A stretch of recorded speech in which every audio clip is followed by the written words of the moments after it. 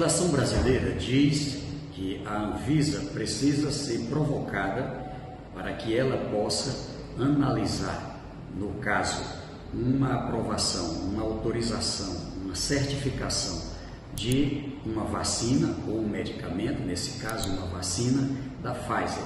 A Pfizer teve a aprovação é, na sua vacina através da FDA, que é a agência americana.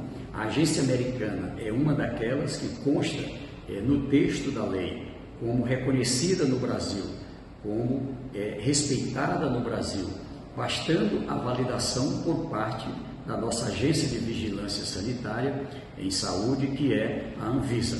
Neste caso, o que, que desejamos é que em 72 horas, como diz a lei, a Anvisa possa validar o uso, a distribuição e a aplicação é, num processo de vacinação no Brasil da vacina é, da Pfizer.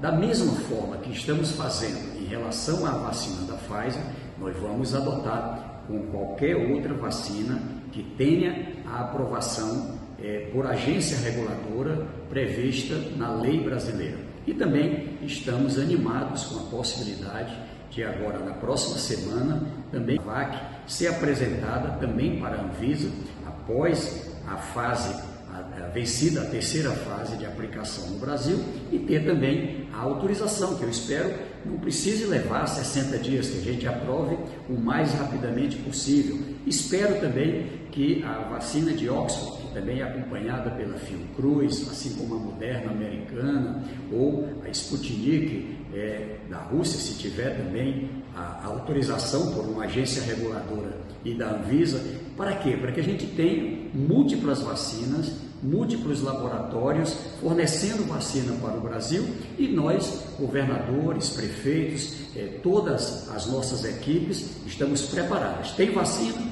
Vamos vacinar e vamos salvar vidas no Brasil. E também, é claro, sair com segurança da crise da pandemia e da crise econômica e social.